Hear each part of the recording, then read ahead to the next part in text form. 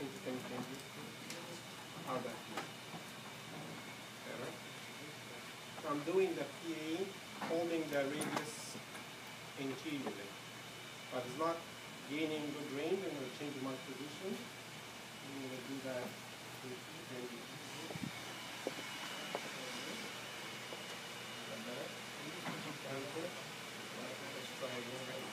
So there is a way that you can do it with your fingers.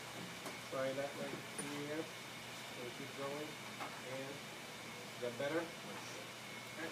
So if you that you try the PA18 and if it's uh, gaining good range at the end. So let's try the AP first. I'm, getting, I'm, pushing that radius backward, right here, posterior, bend, bend, all right. And patient is doing fine with that. Great, come and help me.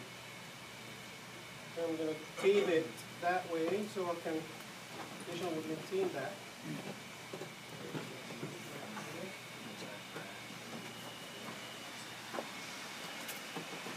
So this time we're gonna put it back here, and we're gonna bend it. And this is kind of fun. Right. Okay.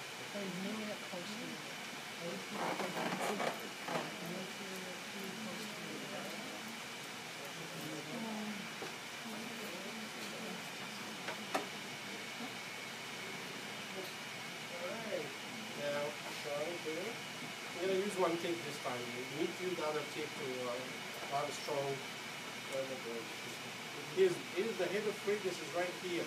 Some the, of you that after you mobilize, you like tape under it, and you are not doing that good job.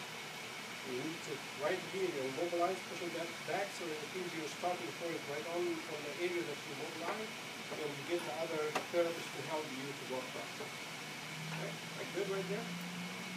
Good.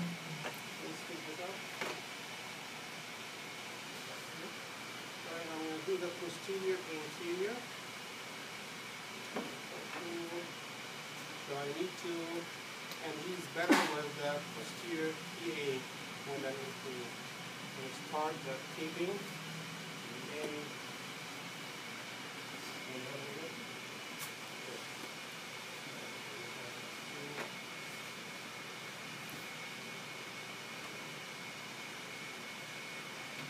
So we're gonna go right on the finish radius and the back here.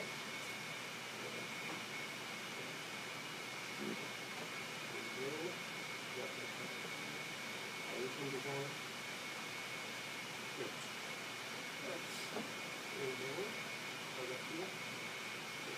you, need to be away from the joint, so it's better to, to have it like a little bit angled down away from the joint. So probably this direction will be yeah, try that now. Yeah. Now it's better. Yeah. Just try that. So PA, AP, and taping